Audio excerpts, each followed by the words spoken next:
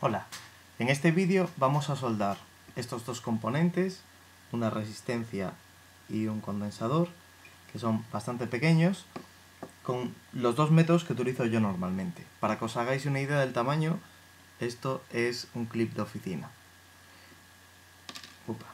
Bueno, vamos a soldar primero el condensador, con lo cual separamos la resistencia el condensador lo vamos a soldar con el método de eh, el hilo de estaño. Para este método vamos a utilizar hilo de estaño normal, no es excesivamente pequeño, debería ser a lo mejor un poquito más, más fino, pero bueno, yo es el que utilizo para casi todo, así que vamos a utilizar este. Para este método, eh, primero lo que hacemos es depositar en uno de los pads estaño, una pelotita de estaño y eh, luego cogiendo el componente lo acercamos y lo unimos a esa bolita de estaño. Luego ya soldaremos el otro. Entonces, vamos a empezar por soldar uno de los pads. En este caso voy a empezar por el pad derecho porque yo soy diestro y tengo el soldador en la derecha.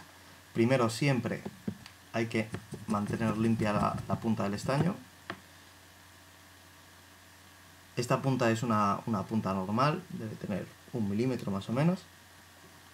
Entonces, acercamos el estañador, siempre, estañador o soldador, como le queráis llamar, siempre eh, para, para estañar un pad, primero ponemos el soldador en el pad y luego acercamos el estaño. Colocamos, acercamos un poco y dejamos una pelotita. Se ve muy bien. Limpiamos el soldador y ahora con mucho cuidado y con la mano izquierda, porque en la derecha tendremos el soldador, cogemos el componente. La idea de este método es fundir esta bolita de estaño y luego acercar el componente hasta situarlo donde queremos. Si acercamos y presionamos mucho el componente, lo que acaba pasando es que sube por encima la bolita. Y esto no lo queremos porque entonces al soldar el componente quedaría levantado y no plano en la placa. Entonces, lo colocamos cerquita y vamos a... vamos a presionar hasta que notemos un poco de resistencia. Ahí es donde deberemos aplicar el, soldador para fundir la bolita y que no se nos levante. Entonces, limpiamos la punta del soldador para que esté muy limpia. Acercamos podríamos coger el soldador y atacar directamente a la bola. ¿Qué pasa? Que mm, tendríamos menos precisión. Es más fácil apoyar el soldador en la placa y moverse con ella. No hay, no hay problema porque hagáis esto en la placa porque las placas aguantan un buen rato con el soldador encima sin, estropearse. Entonces, colocamos el componente cerquita, cerquita donde lo vamos a querer colocar. Colocamos el, el estañador o soldador, fundimos la bola movemos el componente, sacamos el estañador y soltamos el componente. Si os habéis fijado lo he hecho muy muy lento y eh, ha dado tiempo a todo, se ha eh, realizado la soldadura perfectamente y no ha pasado nada. En la placa tenéis un poco de, residuo de, flux del, estañador, pero bueno, el componente ha quedado firmemente aquí y lo único que nos queda es soldar eh, la otra esquina. Vamos a darle la vuelta a la placa, limpiamos el soldador. Con cuidadito, que hay un componente por ahí suelto también. A ver dónde está. Lo tenemos aquí. Voy a colocar esto un poquito mejor para que se vea. Vale. Tenemos ahí nuestro soldador. O sea, oh, nuestro soldador, nuestro componente. Entonces, ahora, ¿qué opciones tenemos? Eh, como el componente ya está colocado en la otra esquina y está soldado, mm, en teoría no se nos tendría que mover. ¿Qué pasa? Que si mantenemos el soldador mucho tiempo aquí y presionamos sobre todo, lo que va a pasar es que este componente se nos va a mover y se nos va a salir del sitio de soldadura. Entonces podríamos estar con las pinzas, pero entonces nos faltaría una mano para el estaño. Con lo cual, vamos a pasar de las pinzas y directamente utilizaremos el hilo. ¿Qué pasa? Que en vez de, eh, en vez de presionar mucho el componente, Eh, lo haremos con mucho cuidado para no, no apretar y movernos el componente de sitio. Entonces, acercamos y tenemos bien cerca el estaño. Limpiamos la punta del soldador, nos acercamos al punto donde queremos soldar, está un poco sucio, así. ¿Vale? Y con mucha calma podemos acercarnos y agregar el estaño. Eh, lo ideal es que el soldador toque tanto el pad de la placa como el del componente para que los dos estén a la temperatura adecuada para que se puedan soldar. Eh, el tiempo es acercamos, calentamos, ponemos estaño y nos vamos. Así de fácil. Entonces, nos acercamos, echamos un poquito de estaño, esperamos y nos vamos. Y ya tenemos el componente soldado. Vamos a verlo aquí en derecho.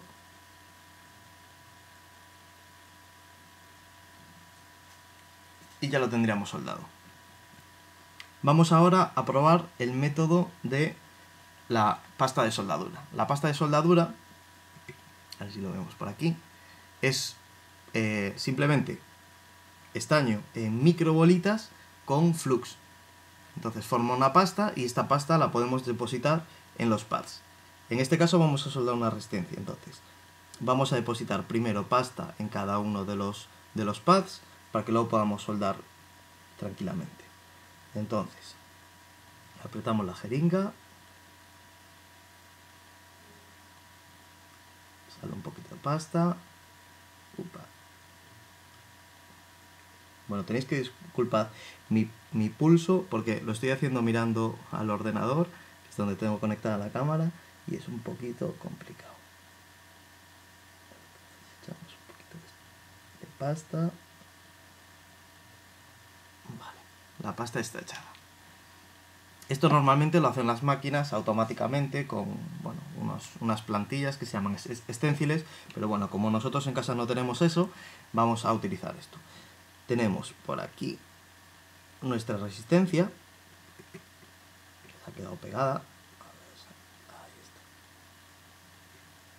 Hasta la vuelta. Vale, ya la tenemos aquí. ¿Qué vamos a hacer? Colocar primero el componente sobre la placa, encima justo de la pasta. Podemos mover un poco el componente hasta que estemos contentos de cómo está colocado. Así. Bien. Entonces, ahora podemos hacer dos cosas. Una. Aquí un poco. Una, acercar directamente el soldador sin tocar el componente. El problema que tiene esto es que eh, sí, se nos va a fundir la, pasta, pero cuando salquemos, como no estamos agarrando el componente, nos lo podemos llevar con la tensión superficial del estaño.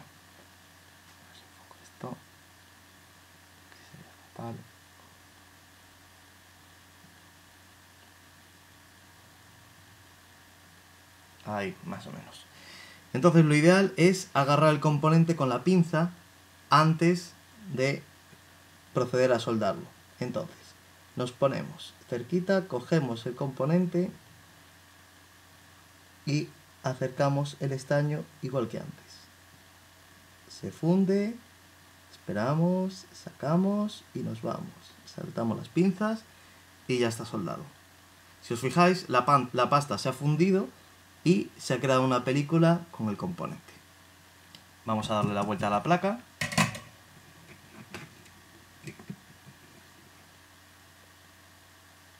¿Dónde Aquí.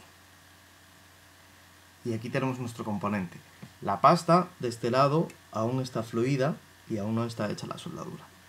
Entonces, ahora podríamos coger el componente otra vez y acercar el soldador si queremos que no se nos mueva nada. Pero bueno, si no empujamos el componente, podemos olvidarnos de las pinzas y directamente acercar la punta del, del estañador, el soldador. La punta está sucia. Vamos a limpiarla. Bien.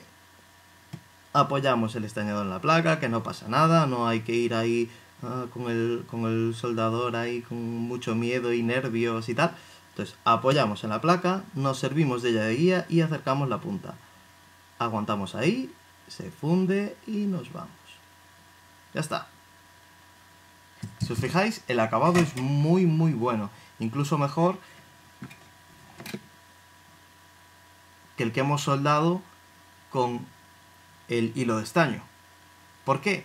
Porque el hilo de estaño eh, depende mucho de la calidad de nuestro hilo, mm, de cómo lo echemos, de cómo se funda. Podemos fundir el, hilo de estaño y colocarlo en la parte de arriba del componente y que no esté perfectamente eh, fundido con la parte de abajo porque hemos calentado solo la parte de arriba y no la de abajo, etcétera, etcétera.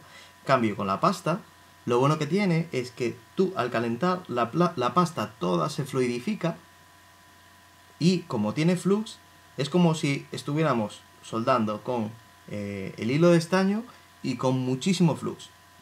Y entonces nos va a quedar una, una soldadura muy muy buena. Veis que la diferencia es bastante grande. Entonces, si queremos hacer un trabajo muy muy rápido, pues a veces mm, vale la pena eh, hacerlo directamente con, estaño y que nos quede así un poco tal. Cuando tenemos que hacer una placa muy grande con muchos componentes, a veces vale la pena pararse un tiempo en echar eh, con, una jeringuilla pues eh, la pasta de soldadura en todos y cada uno de los componentes y una vez que están todos los pads llenos, colocar todos los componentes y luego uno a uno, fum, fum, fum, fum, ir soldándolos todos.